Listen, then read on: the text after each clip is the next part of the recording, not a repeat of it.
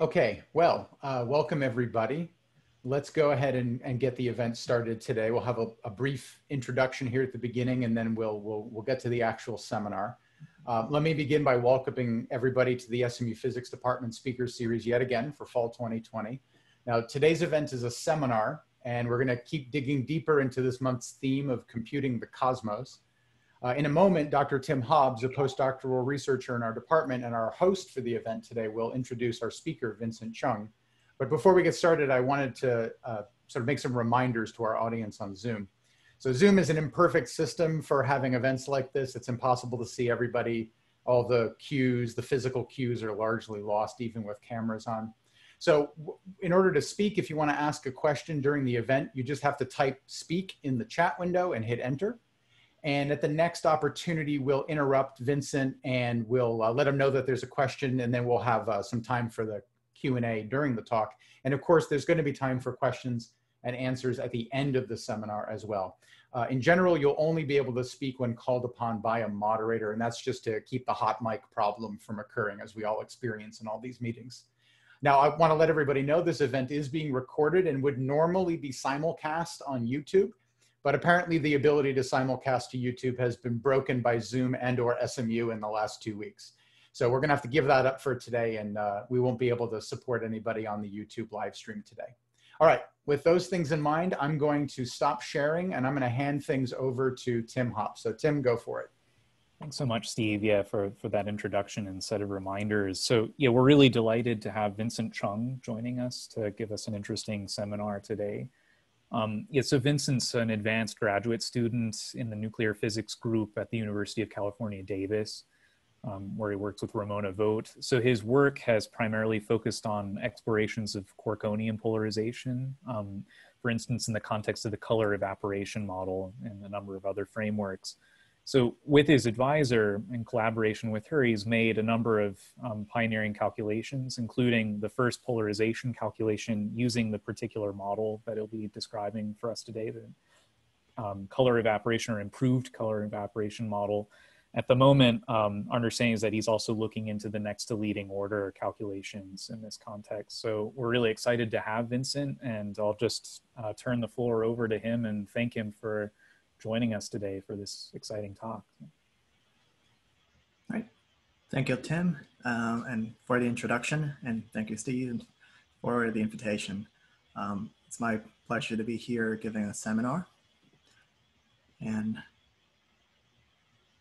uh, so this is the title slide. So I'm going to talk about quarkonium production and polarization in the color evaporation model and I come from UC Davis um, Department of Physics and Astronomy. So this is my um, overview slide. Um, uh, I will mainly talk about quarkonium polarization. So I'll give a brief introduction of what quarkonium is and what are the, uh, the production models uh, we have so far. And my main study is on polarization. So I would also talk about what polarization is, um, how is it being defined, and how is it being measured, and I'll um, go over my work uh, in the color evaporation model and a more recently improved color evaporation model. So what is quarkonium? Um, is a bound state of QQ bar. Um, and mainly in, ter uh, in, terms of QQ bar, we only refer quarkonium uh, as bound state of charm and bottom. So um, for uh, a, a charm, anti-charm bound state, we would refer it as charmonium. And for a bottom, anti-bottom bound state, it would be a uh, bottomonium. So they are being bound by the interquark potential. Um, could, be, could be written in this form where the linear terms refer to the confinement and one of our terms refer to the Coulomb-like short distance behavior. So you can form bound states um, given this potential and you could have a spectrum of states. So on the left here is the bound state for uh, a CC bar bound state. Um, uh, they are, it is the charmonium family, and on the right is the BB bar bound state, um, the bottomonium family.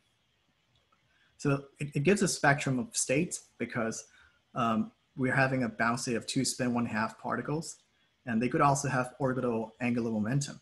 So uh, it, it, would have a spectrum of spin states um, as notated in this spectroscopic notation.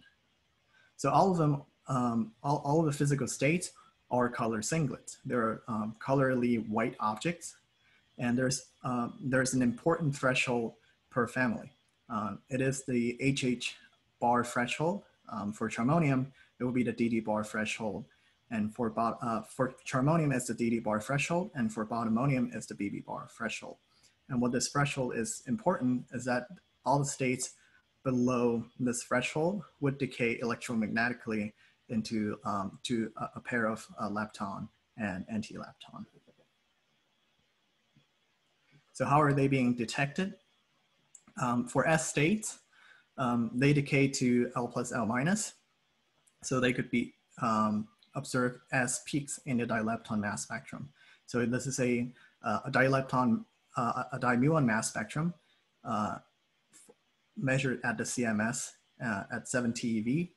Um, we can see all the peaks here. They're all, all of them are the vector mesons, um, including the lighter um, vector mesons. And here are the charmoniums and the bottomonium. And there's also an assumed plot for the, uh, for the bottomonium where we can see the three S states uh, upsilons.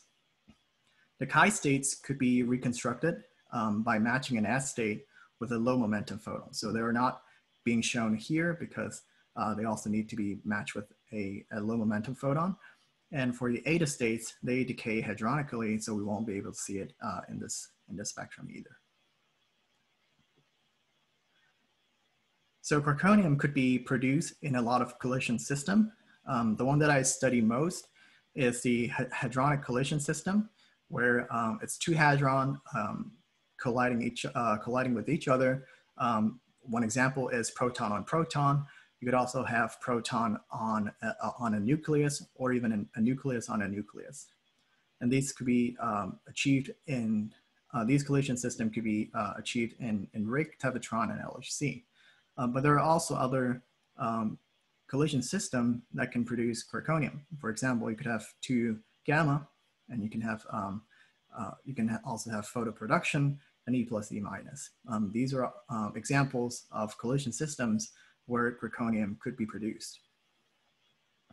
So here's a brief timeline of um, how the theory and the measurement goes. Um, so in 1974, uh, the first quarkonium, the charmonium J psi, it was being discovered and followed by the discovery of upsilon. And the color evaporation model, um, which, which average all the spins and colors, uh, um, was being developed about the same time. And followed by the color singlet model, which only considered the color singlet contribution, and followed by the um, non-relativistic NRQCD.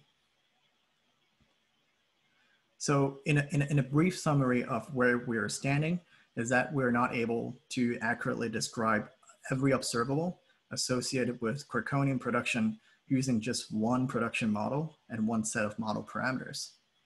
So what are the observables that we're trying to describe? Um, they would include the use and distribution of the S-state quarkonium, um, the eta states and the chi states, and more precise tests of model would include the production of one state relative to the other. For example, um, the ratio of, uh, of 2s to 1s ratio for charmonium. And, and, and another uh, test of model could be the production of one spin state relative to the other um, within the same spin state. It's this, and that's the polarization. Um, for, uh, and, and, for example, we could be talking about um, how much of J psi being produced in J is equals to plus or minus one versus being produced at J is equals to zero. And the status of, as, as of right now, is that the production models are still unsettled, um, even though J psi and upsilons are discovered um, in 1974 and 1977 respectively. Um, and the production mechanism hasn't been solved yet. So there are different models being developed to describe the, um, the observables, and we can take a look at them uh, one by one. So the first production model was the color evaporation model. Um, and the, the production cross section of the quarkonium is modeled, that's, it's modeled as, as shown here, um, where um, the quarkonium are treated just like a pair of Q and Q bar. So if we're, we're modeling for J psi production cross-section, it is essentially the same as producing a pair of CNC bar below the HH bar threshold. So we, uh, at the leading order, uh, this is to calculate the cross-section of producing a CC bar with the invariant mass from the production threshold to the hadron threshold. And there's a one factor, which is supposed to be universal um, for the quarkonium state, uh, and it's independent of the projectile target and energy. So you can, uh, you can treat it as how much as a fraction of the CC bar pair being produced in this, in this window here uh, would, at, would at the end becomes a J psi, for example. And all diagrams for producing a QQ bar are being included independent of their color. And it has only just one um, fitting fit parameters per quarkonium states. So for J psi, it would take a number. For uh, psi2s, it would take another number. And this number, uh, this FQ is being fixed by comparing the NLO calculation of the cross section as a function of root S or the rapidity at this, uh, or the rapidity distribution uh, at center rapidity. So, uh, so this factor could be obtained by matching with the data. The color singlet model, um, uh, it's kind of trying to make more sense um, because the final state that we observe is a color singlet state. Um, so the color singlet model only constrains the production of, CC, uh, of the QQ bar to just the color singlet state only. And it assumes the produced QQ bar does not change its color and spin between the production and the hadronization. So um, the color singlet model just focused on um, what is the uh, production cross section for a, a C, for a QQ bar produced in a single state and assume that would um, that would eventually becomes uh, the quarkonium that we see. And the last model is the NRQCD. Um, it is an effective field theory where the production is described as an expansion of uh, as an expansion of alpha S and the heavy quark velocity. Um, this is the um, relative quark velocity. So hence the name uh, non-relativistic NRQCD. And, it, and at each order, the production is further factorized into a perturbative part uh, known as the short distance coefficients and a non-perturbative part known as the long distance matrix elements.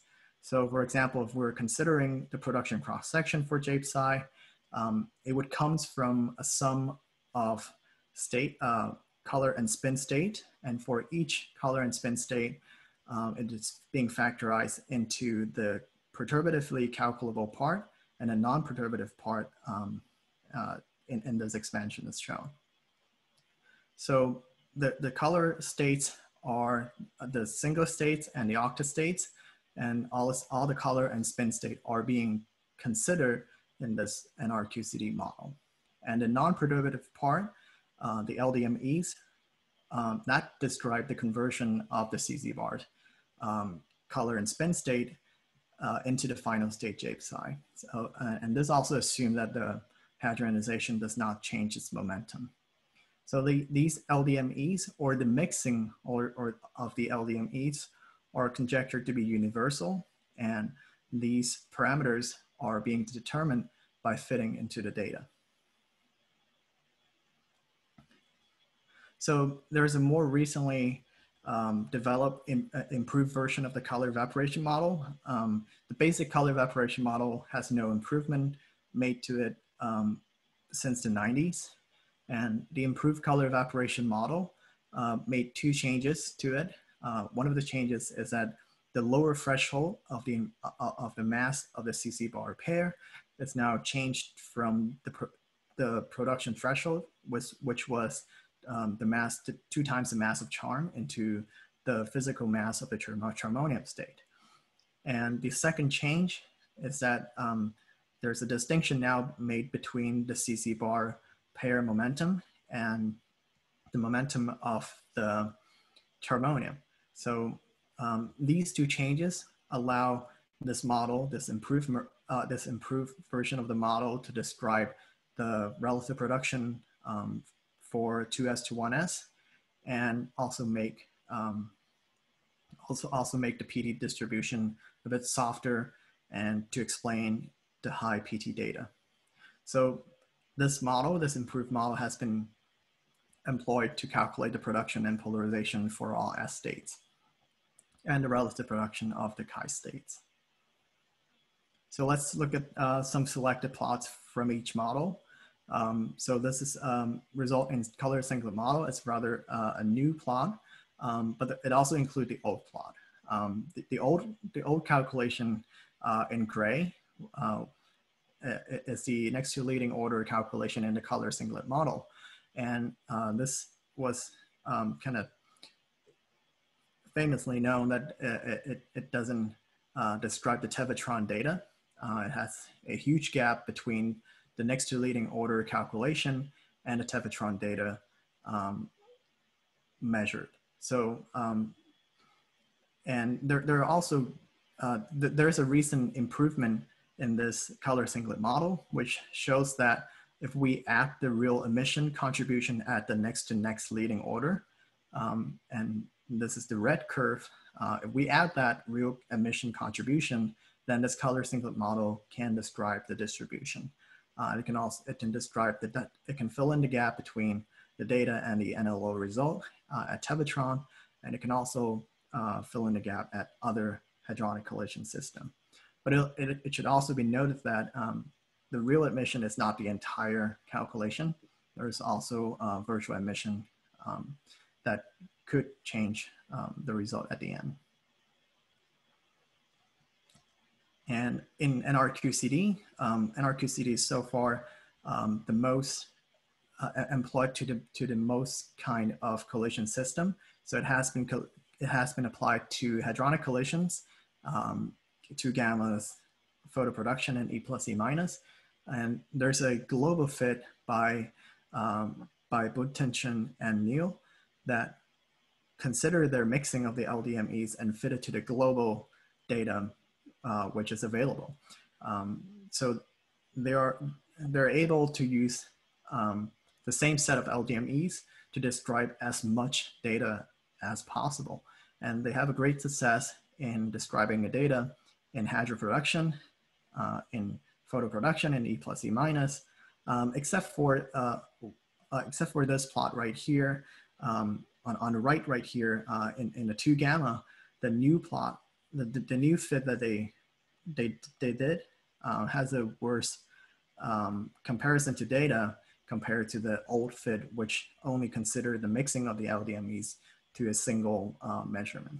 So overall, they have uh, a, a, good success in, this, in describing the global uh, data uh, using the same, same mixing of, of their LDMEs. And they have a very low PT cut as well. So the, uh, the lowest they could go is, is one GeV, and for hadronic collision, um, they, they go as, as low as 3 GeV. So this is what um, NRQCD uh, looks like if we were to take it, um, if we were to take it a component wise. So um, on the left is the decomposition of just uh, next to leading order and le leading order comparing the color singlet and the color octet contribution. If we look at the cyan curve here, um, the, just looking at the color singlet contribution, even at next to leading order, uh, it would underestimate the data.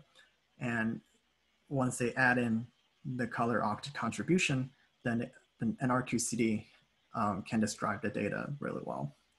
And so on the right shown is the component-wise, um, how they look like um, in, in this global fit, how each component contribute to the total yield that they, um, that they predict.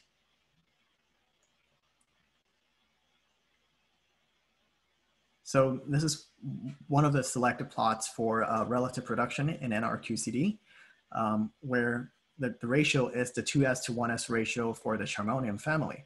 Um, and what they calculated is, uh, what this group calculated uh, result shows that uh, it agrees with the data at most PT. And uh, the relative production of chi C and chi B are also dominated by the color singlet model contribution. So um, this is what um, they have calculated, um, but there are also other groups that use NRQCD and they have a different method. Um, each group varies slightly, um, but they, in general, the relative, the relative production is well described in NRQCD also. Um, but there's one um, problem uh, in NRQCD is that uh, for eta c um, production, um, so far all of the all of the NRQCD result would uh, overestimate the LHCb eta c yields. So uh, each column is refers to um, different groups, and each row is uh, is the LHCb, LHCb eta c yields at 7 TeV, and the second row is at 8 TeV. So the the first column is the global fit result. Um, uh, the, the yellow is the total, which is the color singlet plus the color octet um, contribution. Uh, and they're, they're the closest um, to the experiment, uh, to the experimental data, but they're still overestimating it. Um, and so far, uh, all of the groups are showing that um, the, the result could be described by the color singlet model uh, alone. So um, if, if they are using this, the same mixing to describe J psi, then using heavy quark spin symmetry, you can also translate that result into eta c yields. Um, but so, um, but apparently this um, this translation um, does not describe the eta c um, result. There are also there, are other NRQCD calculation which can describe the eta c result. But again, if, if they were to use the same mixing of the LDMEs to describe the J psi, um, they would not describe the J psi polarization. And that's uh, what we're going into. So um, on the other hand, uh, in the color evaporation model, uh, it has one fitting factor for each quarkonium state. So for a quarkonium state psi, there would be an F psi. For uh, psi 2s, there would be a psi uh, F2s. Uh, it has great consistency with experimental result over a large range of root S. So on the left, it's the J psi cross section, um, all the way from 40 GeV to, um, to the TeV scale. Um, and using just one fitting factor, um, it has a great consistency and it, it can describe the experimental data uh, really well. And on the right, uh, it's, a uh, it's a similar plot for um, the sum of the bottomonium states. Um, again, three, uh, three fitting factor um, can describe the um, cross-section as a function of root S. And it can also describe uh, rapidity distribution and PT distribution uh, very well. And overall, it is a less rigorous model. It consider uh, it is averaging over all color state and only just using one fitting parameter for each state, um, but it gives accurate predictions. Um, and there, there were no advance in this basic model since the 90s. And, and, then in 2016, uh, the, uh, Ma and Ramona Vogt, um, they improve this model and make two changes. Again, it's one is the in the lower threshold of the mass of the CC bar and the momentum of the CC bar versus the momentum of the charmonium. So making these two changes allow this model to now describe um, the ratio of the, the ratio of the cross section, the 2s to 1s ratio, and also makes uh, it describe the PT distribution um, better. So here is the PT distribution uh, in this model. At uh, on, on, the left, uh, on, on the left column is at 200 TeV. On the right column is at 7 TeV. In the top row, it is the J, um, it is a J psi result, and in the bottom row is the psi prime result. If you take the ratio to two, then you can get um, the cross, uh, the relative reduction uh, in that model. So uh, at 200, 200 GeV and a 7, uh, and a 7 TeV, this ratio is being described um, with the two changes um, made to the model. Without these two changes, um, without these two changes, this ratio is uh, it's very close to flat in a traditional color evaporation model. And part of my work is to calculate, uh, use this model to calculate um, uh, the chi, the chi C and chi B production. Uh, I had some success in chi C ratio, uh, but not that much in chi B. Um, the ratio will become flat at high enough PT, um, but the bottomonium mass is a, a bit larger. So um, in terms of scaling, it doesn't become flat until you hit 20 GeV. Um, but for charmonium, um, it's relatively smaller mass, so um, it becomes flat at a, at a lower PT value. So these, um, these are for KT factorized result. They are not um, directly uh, comparable, uh, should be noted that. So in summary of the model of the development, um, we started with a simple model by just averaging over color, uh, color and spin states. Uh, and, and, historically, um, both color and spin are being uh, averaged in the color evaporation model. And we started, uh, and we started to make more sense um, by limiting our, our, our consideration to just color singlet production, and hence the name color singlet model. Um, because it, it couldn't describe the data um, there, which suggested that there should be more being added um, to describe the, the experimental data. So we bring in the contribution from color octet states through the non-perturbative parameters, uh, and that's NRQCD. Um, there's some recent um, improvement made on the color evaporation model, um, and, but there are also uh, other, in, other uh, work in improving other model as well. So that's historically where uh, where we come from. So color evaporation model and NRQCD um, remain the most commonly used model today, and they can predict yields and relative production of different quarkonium states. Um, but we, we, need more precise tests of models, um, or we need other tests of model because um, they can already predict the yields and, rel and relative production. Um, so uh, so we, we would be asking question, what about the relative production of different spin projection state of the same quarkonium states? And that would be polarization. Um, so just a quick comparison between the color evaporation uh, model family and the NRQCD. Um, the color evaporation model is less rigorous. Uh, it has fewer fit parameters. Uh, and so far it has only been applied to uh, extensively to hadro production. Uh, and on the other hand, NRQCD is more rigorous. It's split into color and spin, uh, color and spin state. It has, and hence it has more fit parameters and it has been applied to all collision system yeah, as we have seen in the global fit.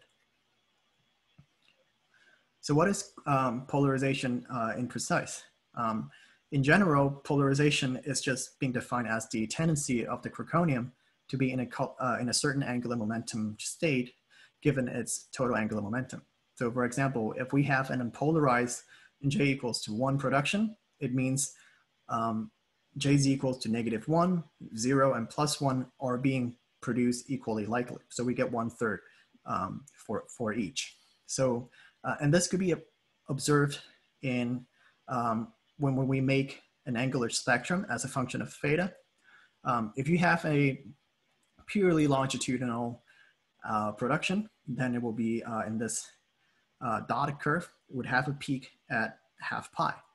If we have a purely transverse production, then we would have uh, this dashed line here and has peaks at zero and pi. Um, and if we have an unpolarized production, then it would look like a flat line. So how is that theta being defined? Um, there are three commonly used choice for um, for for this uh, for for the z-axis, and regardless of the z-axis, to theta is being defined as the angle of the positively charged lepton, um, uh, and the, the angle is the angle theta is always being defined as the angle it makes for the positively charged lepton to the z-axis. So how is the z-axis being defined? Um, there are three commonly used choice. Um, the first one is the helicity axis. Um, it is the quarkonium traveling direction when boosted back into the quarkonium rest frame. Um, the second choice is the Collins Soper. Uh, um, sorry, the second, the second commonly choice is, uh, the second choice is the Gottfried Jackson frame, uh, where the z-axis is pointing exactly as one of the beam direction. And the secondly commonly used choice is the Collins Soper frame, uh, although it, I introduced them in the, in in the third order. Um, it is the angle bisector of the Gottfried Jackson z-axis and the uh, and the direction of the other beam. So uh, it bisects um, this angle right here. So Helicity frame and Collins Soper frame, these are the two most commonly used um, to measure polarization. And regardless of the z-axis choice, the theta angle is always defined the same way. Uh, it's the angle between the z-axis um, of the choice and a direction of travel uh, for, for the uh, positively charged lepton in the quarkonium rest frame. So um, the angular uh, distribution could be um, expanded in, in, in, in, this way. And um, the, the most commonly referred as polar, um, all, all, the, all, all the prefactor here, all, all the, the lambda theta, lambda phi, lambda theta phi, they're all referred as polarization parameters. But the, the one that makes the most um, uh, intuitive sense is the lambda theta because lambda theta describe how much is being produced in a jz equal to zero and how much it is being pr produced in jz equal to plus or minus one. But they're all being referred as polarization parameters. Um, and they could be obtained by making angular spectrum. Uh, and for example, if you want to extract lambda theta, um, you can make an angular distribution as a function of cosine theta. Um, and you can measure the curvature uh, and obtain the lambda theta that way and other angular, other polarization parameter could be um, measured in, in, in, the same, uh, in, in a similar fashion. So why do we need a model? Um, for a single elementary process, um, the polarized to total cross section um, uh, could be could, could be written in terms of um, the amplitudes AJZs. So for a for a single elementary process, you can um, it comes from a zero squared, a plus one squared, and a minus one squared. And you can combine them um, to predict, to, to give the polarization parameters. Um, these are lambda theta, lambda phi, and, lambda, uh, and lambda theta phi. Um, however, for just a single elementary process, uh, there's no combination that would give all of them to be the same and be zero. Um, so an unpolarized production can only uh, be described by a mixture of sub-processes or you have to do some randomization modeling. So this is um, one of uh, is a great plot showing that you could have lambda theta to be zero, lambda phi to be zero, uh, but then you can you would miss lambda theta phi to be zero. So uh, if you're just considering just one single elementary process, then um, you won't you will never have um, them being all of them being zero. So it has to come from a mixture of sub-processes and, and hence we need a model. So it's important to uh, understand polarization, uh, not just from the theory standpoint that they are strong tests of production models, um, but the detector acceptance also depends on the polarization hypothesis. Uh, and understanding the polarization um, uh, would help us to, under, uh, to narrow down the systematic uncertainties. So um, here uh, in the below three plots is the acceptance at, um, at Atlas, where if you assume the polarization to be all zero uh, as flat, then um, the acceptance as a function of PT and rapidity would have a different, um, would have a different look compared to if you assume the polarization to be completely transverse and it will again be different uh, if you assume the polarization to be completely longitudinal. And these um, acceptance variations would eventually be reported as systematic uncertainties. And this is a plot um, from, L from, from uh, B that um, if they assume the production is fully transverse, um, it would be the red data points. And if they assume the polarization to be fully longitudinal, then um, they would have the blue data points. So understanding polarization is not, uh, it, it's good for theory and experimental interest. So, um, so what is the polarization puzzle that we're uh, trying to solve? Um, this is a uh, kind of all-in-one plot uh, to show that NRQCD um, cannot describe the polarization and the and, and, and the production simultaneously using the same PT cut and the same mixing of their LDMEs. So for each row here is a calculation um, being done in NRQCD using different PT cuts, and each uh, column refers to an experimental observable. So in, in and they are E plus E minus cross section, uh, EP uh, cross section, and a hadronic uh, PT distribution, and the polar, J-psi polarization in hadronic collisions. So um, the first group, which was the global fit group, uses the smallest PT cut, uh, uses the smallest PT cut, uh, includes all uh, a lot of data, not just these three sets of data into the into the fit, and they can describe um, the data really well as seen before. Um, but using the same LDMEs, using the same mixing of the LDMEs, um, they would not have agreement with the polarization data. And the second group, which uses a larger PT cut when fitting their LDMEs and only takes the uh, production into their fit, they will describe the polar, um, they would have a better description of the polarization. Um, but using the same mixing of the LDMEs, they would uh, overpredict um, the data at other places. And the third group here uh, uses an, uh, a larger PT cut, um, which also have taken the polarization data into the fit. Um, they would have a good agreement with the data, um, but if this, but if the same if, if, the same mixing of the LDMEs are being applied to describe other observables, then they would um, overpredict predict even more. So um, this is known as a polarization puzzle in an NRQCD, uh, where you can't just use one set of LDMEs, use a small PT cut, and to describe all of the data and its polarization. So um, this is a problem that we're facing right now. Um, and not to leave this out is that there are approach within the, the framework of NRQCD, uh, the colored condensate, um, to when, when being applied on top of NRQCD, uh, this could be a solution to, to solve the polarization puzzle. Um, and what they did is uh, where the gluon distribution is calculated using CGC and uh, and, the QQ bar conversion to the final state J-psi is being described by NRQCD formulation. So, this is one of the proposed solution to solve the puzzle, and they have a good uh, agreement to data uh, for uh, PT less than 15 GeV. Okay, so back to NRQCD, just NRQCD alone. Um, upsilon polarization for 1S, 2S, 3S doesn't seem to be a big problem uh, in, NR, in NRQCD, probably due to um, the upsilon mass.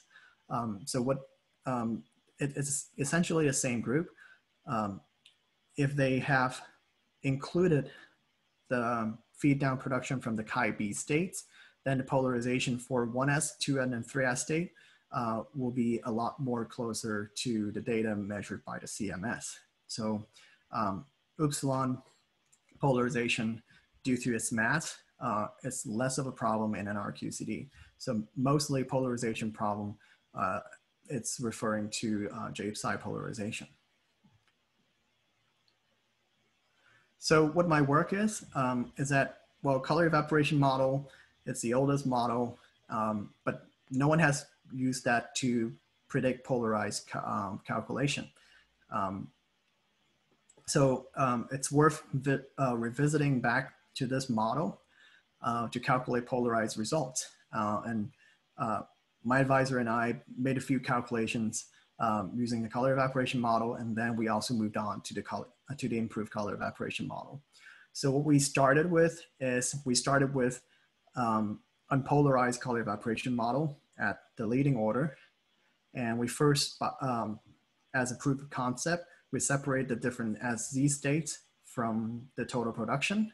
Um, and after that, we try to extract the orbital angular momentum so we can actually match our um, CC bar to the real charmonium state. And after that, um, we try to explore the PT dependence uh, using KT factorization. And what we're doing right now is that we're trying to go to the next order in alpha, uh, in alpha S to describe the PD dependence um, of, of J psi polarization in our model. So I'll first describe how, uh, how our calculation goes um, uh, at, at, um, at alpha S squared. So at the leading order um, to produce a QQ bar, um, then the QQ bar would not have any PT. Uh, it would only travel along the beam line. So, um, but there's, there's, there's, so there's no difference in the, in the three commonly used axes. So we first started by projecting the spin of the heavy quark onto the beam axis. So the diagrams being used at this order is, um, is there's one diagram uh, for QQ for light QQ bar to heavy QQ bar, and three diagrams for uh, gluon fusion to uh, QQ bar. So the polarized amplitudes are obtained by first separating these amplitudes according to the SZ of the final state. And, and then before we square the amplitudes, we extract the orbital angular momentum uh, in, by looking at their dependence uh, on cosine theta. And, and then we square the amplitudes, and so we get the polarized amplitudes. Um, there are some, um, once we have the polarized amplitude calculated, then um, we form the amplitudes for, um, for the definite J uh, values, 0, 1, 2, to match the physical states for J psi, chi, um, chi C1P, and chi, C, uh, and chi C1 and chi C2.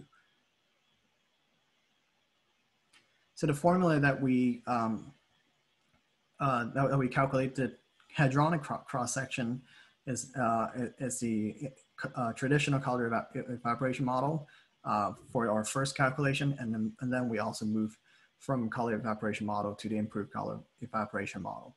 So uh, we convoluted our um, partonic cross section with the CTEQ 6, uh, with the CTEQ 6 um, parton distribution function and the alpha S is calculated at one loop level.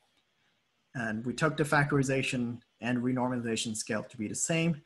And we vary the mass of the charm quark and the bottom and the bottom quark to obtain our uncertainty band. Uh, and in this model, uh, we assume the polarization is unchanged by the transition from the parton level to the hadron level.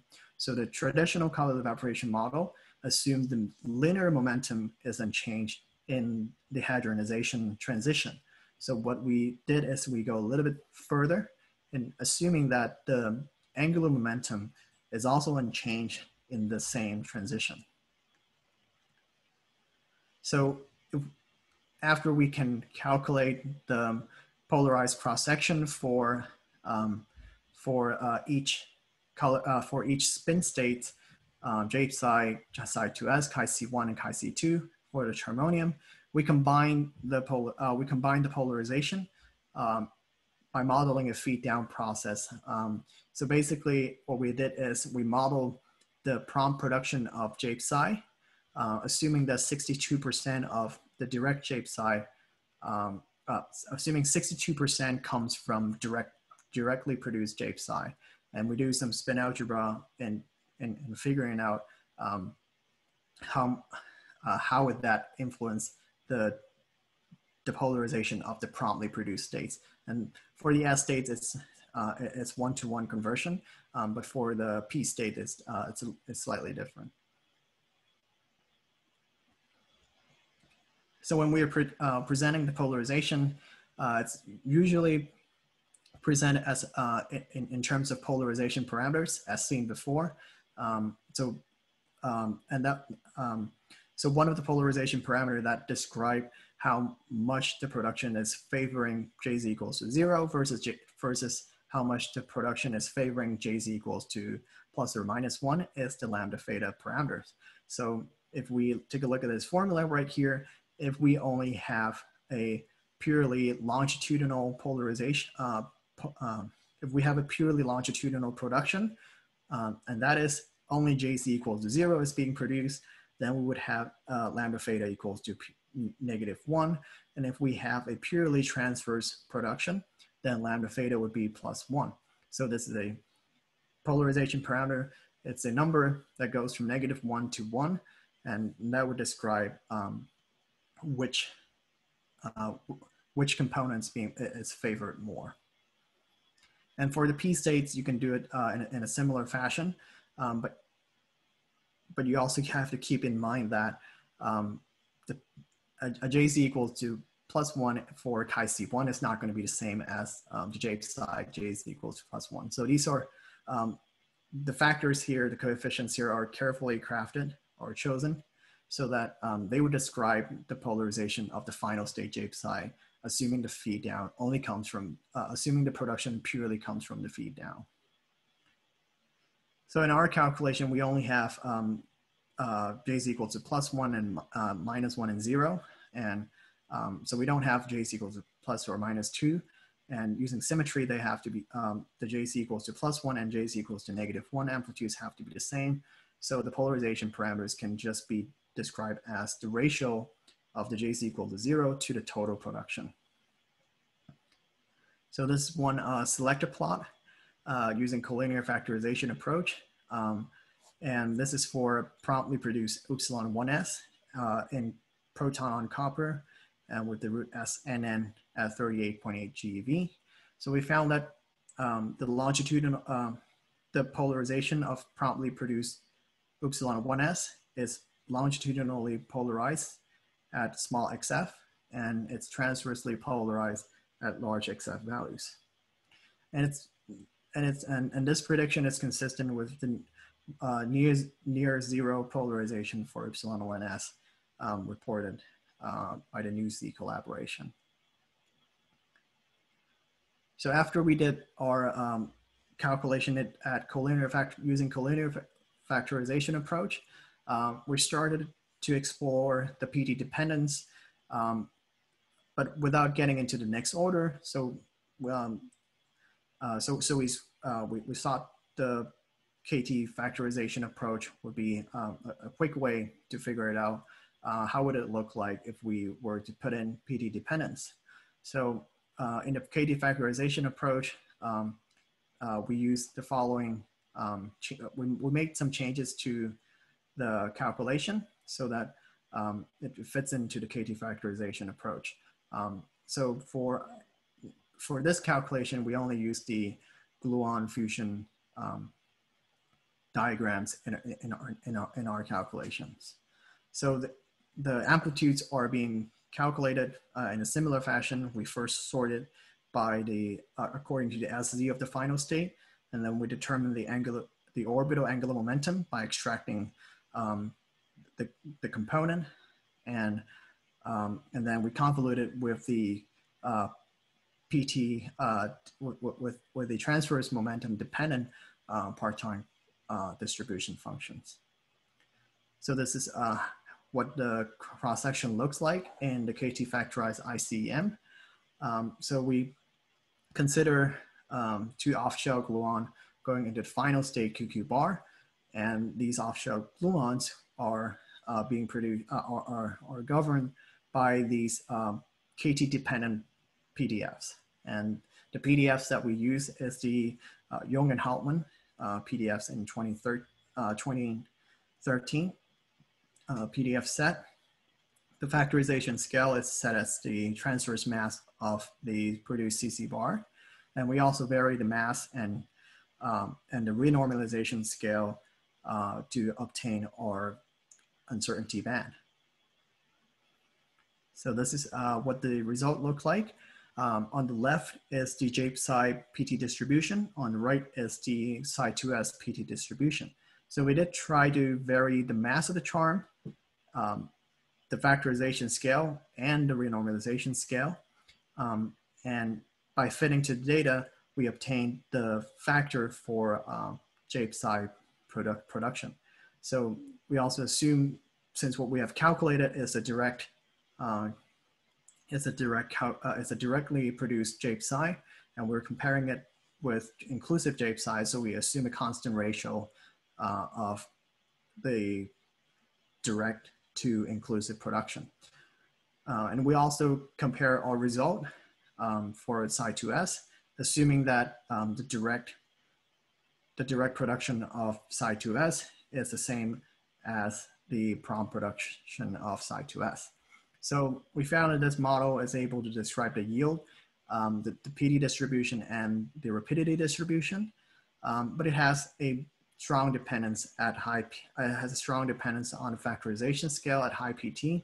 Um, this comes from the fact that the PT of the final state quarkonium purely comes from the, the KTs, the sum of the KTs from the from the off-shell gluon. So it has a, it, so it it would have a strong dependence on the factorization scale, and this would grow um, as a function of PT as well. In terms of the uh, describing Chi-C, uh, Chi-C1 and Chi-C2, we also try to do that and compare it with the ATLAS data. So uh, we find, find that, and, and, by taking the ratio, we can also take, uh, we can also compare uh, our calculation to the ratio measured at ATLAS. So we found um, a good consistent, uh, a, good, a good consistency with the data by considering our, uh, our calculation for uh, the chi states. So now we have all of the FQs fitted. We have FQ for Psi, Psi2S, and Chi C1 and Chi C2. Uh, Chi C2. Then we can uh, form or promptly produce J Psi, um, assuming the same feed down production as considered before. Um, so and we have a good uh, agreement with uh, previous color evaporation model result and the and the data as well. So the new one uh, is in blue. The, uh, it, the, in blue is the improved color evaporation model using the KT factorization, uh, and in uh, in magenta is the traditional color evaporation model in collinear factorization, and in green is the improved color evaporation model in in the collinearly factorized approach. So all three of them are agreeing each other. And when the feed down from, uh, from B meson is also added using FONL, uh, we also found that a good agreement with the inclusive J Psi um, uh, production measured at uh, uh, at least over a large range of beam energy. So it can describe the um, inclusive J Psi um, all the way from 5 TeV to 13 TeV. And our main goal is to get polarization. So the polarization in this calculation, uh, in the Collins Soper frame, uh, it is uh, slightly negative, slightly towards longitudinal at low PT, and it becomes um, nearly unpolarized at moderate PT, and at large PT, it becomes slightly longitudinal again. Uh, in the helicity frame, it's the kind of the opposite uh, behavior. At low PT, it is slightly transverse, and at moderate, it becomes un nearly unpolarized, and at really large PT, it becomes slightly transverse. So um, the agreement with data, it's kind of frame dependent. It depends on uh, it depends on which frame that you're trying to compare with data. So uh, a, uh, uh, a, a similar story for Upsilon production, when we switch our charm mass into bottom mass, um, then we can consider Upsilon production. Um, this is the PT distribution at uh, 7 TeV, and when compared to CMS data, um, it also has a strong dependence on the factorization scale at large PT. And when we, when we set the factorization scale at just um, MT, then both uh, both the PT distribution and the rapidity distribution are, are being described. So on right here is the Upsilon 123S rapidity dis distribution at 7 TeV um, and compared to data. So the polarization in bottomonium, uh, it's similar uh, in in a Collins when when when calculated in the Collins-Soper frame, it is slightly uh, longitudinal, and it becomes um, unpolarized at larger PT, and in when calculated in the helicity frame, it is slightly transverse um, at low PT, and it becomes unpolarized at large PT. And when we're considering really large PT, then uh, such as the region measured by the CMS detector, then the polarization becomes really close to unpolarized, and this has a good agreement with the data as well. So um, we're trying to go to the next order in, in this calculation.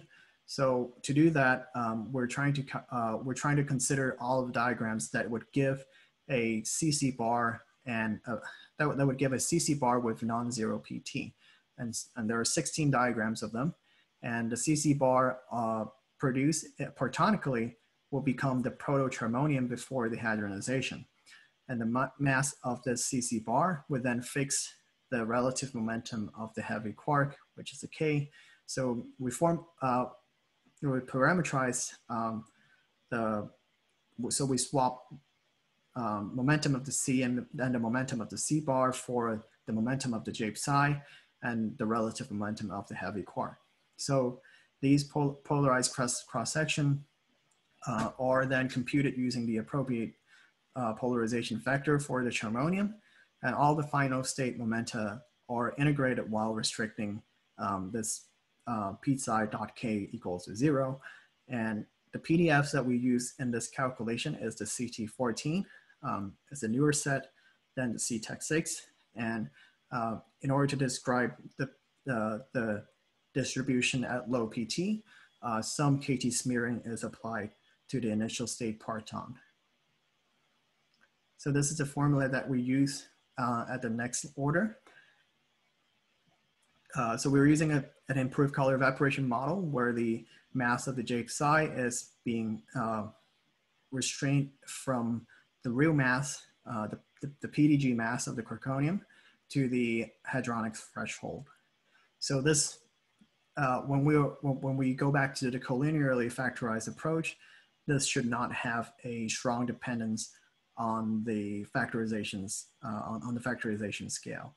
So we use a different sets of variation um, in, in, constructing the error bands. Uh, and, um, but these are the same set of variation used in other color evaporation uh, model approach. So these are the preliminary uh, results that we have for this calculation. Um, again, we, uh, we, we, give it um, a small uh, KT kick for the initial state parton at the order of about one GeV squared to the initial state. So, uh, but this was not needed in the KT factorization approach as the unintegrated PDFs are already KT dependent. So um, on the left shown is the PT distribution at 7 TeV when compared to the LHCb data and the same calculation, but for the polarization parameter and compared to the uh, LHCb data. So these are pre preliminary results uh, with uncertainty bands constructed by varying the charm quark mass only. Um, uh, we have tried to uh, vary the factorization and renormalization scale. They do not, uh, they do not give a huge dependence on the scale, uh, but it's not shown right now. Um, and we have some agreement with the polarization data um, if we just look at um, the result by charm quark mass variation. So there are also other polarization parameters, and we're also trying to calculate them to give a more complete picture of what the polarization is. So um, what lambda phi and lambda tilde um, uh, is, or um, is that it can give you a frame invariant uh, polarization parameter. So if you calculate the lambda theta, which is the, uh, the plot that we've I've shown before, and also the lambda phi using this uh, formula, then you can have uh, a combination of lambda theta and lambda phi to give you a lambda, which is frame invariant. So this is one of the ways, uh, one of the ways to, to come up with a frame invariant polarization parameter, which is known as lambda tilde. So how, uh, um, how is that invariant? So if we take a look at an example, which is a completely transverse lambda theta equals to plus one in this chosen z-axis. So this lambda phi describe the azimuthal anisotropy. So if we have a completely transverse with no ani, uh, with with lambda phi equals to to zero, then if we rotate this the same distribution, um, we would have a different lambda theta. Um, but the, la the, the lambda phi would also co-vary with uh, with this rotation. So, um, but if you use this formula to calculate uh, lambda tilde, they will still give you the same lambda, lambda tilde to be plus one. And a similar story, if, you, if we choose this axis, the same axis, and we have a completely longitudinal production to start with, with lambda phi equals to zero, and even if we rotate the distribution to be to have lambda theta equals to plus one, which is the other extreme, um, but the fact that lambda phi co-vary in this rotation uh, would allow lambda tilde to be uh, the same as before. So calculating lambda tilde would uh, in principle remove all frame-induced kinematics dependencies, and it would give you a more uh, direct comp comparison of theory to data. So what we did is uh, we, we computed lambda, lambda phi and using lambda theta and lambda phi that we calculated, uh, we, come, we uh, calculated the lambda tilde. So what we have found is that the invariant polarization parameter, uh, it's close to zero and at large PT is slightly negative, but has a, but this, um, this would give you, give us a, um, a better comparison to data. Better in, better in a way that we, uh, such that no frames are good.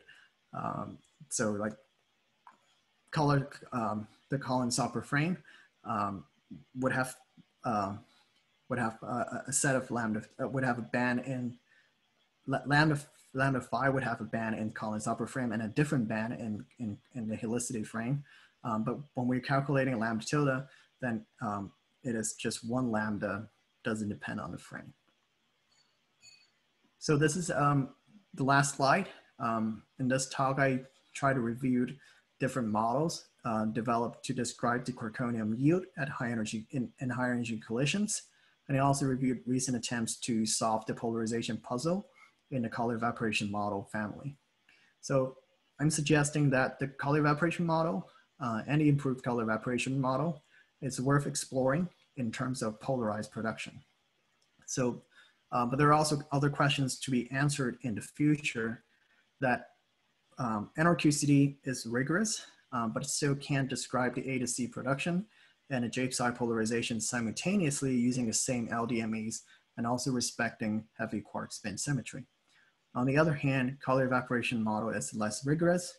It can describe the yield and perhaps the polarization in hadron production, but we haven't uh, been uh, we haven't applied it to other collision systems. Um, and how about eta c for uh, improved color evaporation model? Um, that we still haven't calculated that yet. Um, but beyond that, uh, we still want to learn more about uh, production. How do the CC bar pairs uh, eventually end up in J psi? Um, can we describe the mechanism beyond just FQs in the color evaporation model and the LDMEs? So um, there are a lot more to be learned in the future. So um, that's it for my um, for my presentation.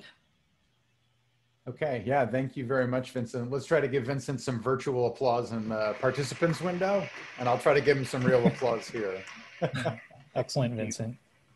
Yeah, thanks for this really systematic overview. It was quite a nice talk. So um, are there any questions? Yeah, again, if you have a question, uh, to unmute your mic, we need to know that you want to speak. So type speak in the chat window. And while we're waiting for that, Tim, if you don't mind, I have a question. Is that okay? Please. Oh, no, of course. Steve, okay. Yeah, so so Vincent, can we go back to this this lambda tilde that you were describing here? Um, um, one of my original questions was, of course, to understand what would be required to remove this frame dependence that you were seeing. What do experiments need to do in order to put data points on this plot you show on slide 54? So there are there are experiments that put uh, that put say, that also do uh, lambda tilde measurement, but the most straightforward way is to just convert their um, measured lambda theta and lambda phi in, in this way. And this is not the only way to construct a frame invariant parameter, but this is one of the most commonly used now uh, invariant form to give a lambda tilde because it still runs from negative one to one, um, which is very um, similar to lambda theta. Okay. All right. So it is a relatively simple transform for the experiments to do. This doesn't require a lot of retooling for experiments when they quote their results. Yeah, but they, they um, if you directly transform, take just uh, in, in, one frame, for example, the experiment measured in the Collins-Soper frame, the lambda theta and lambda phi. Uh, if you just do this conversion and versus the same conversion in the helicity frame, uh, some systematic uncertainty will make them doesn't will make them look like not invariant. Okay. Yeah. All right, Pavel, you have a question. Yes, hi Vincent. This is uh, Pavel Nadolsky. Well, um, uh, thank you so much, first of all, for this very interesting um, review of the uh, measurements. Um, you have shown a, a, variety of measurements at different levels of accuracy, and I also was very happy to see that you use some of the results from our uh, well CTEQ collaboration of, with like parton distribution functions. Uh, what's not clear to me is that what, what are your um, ob objectives in terms of um, let, us say, uh, validating various models. So, so, it seems that the accuracy of these predictions vary, varies quite a bit.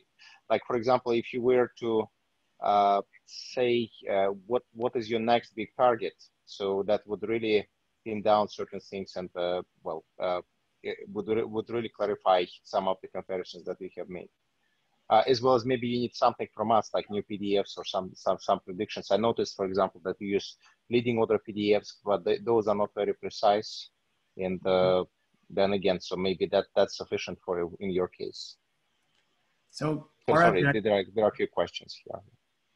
Yeah, the, the objective is to have a polarized calculation in the color evaporation model to mm-hmm. make it as competitive um, or trying to be competitive with NRQCD because mm-hmm. um, mm-hmm. NRQCD is not going to um, describe uh, polarization, J psi uh, cross section, and eta c cross section, all at mm-hmm. the same time using the same mixing.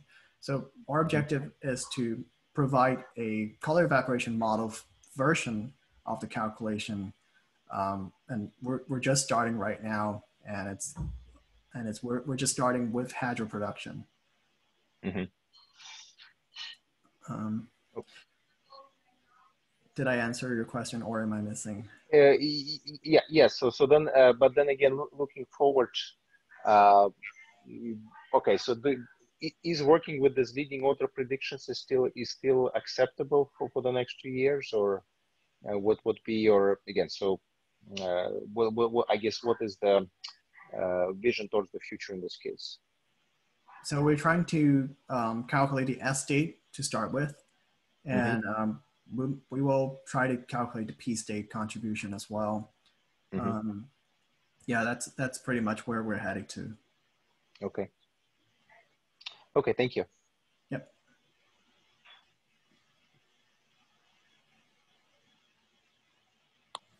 Okay, I think uh, Richard had a question, so I've unmuted you, Richard.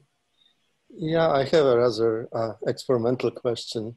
Uh, all the data that you compared to essentially are coming from experiments with unpolarized beams. If you would have a beam or target that is polarized, how different would, would that picture be? Yeah, that, that, is a good question. So I've been asked um, multiple times that to give, what if your uh, initial state is polarized? Uh, how would that change?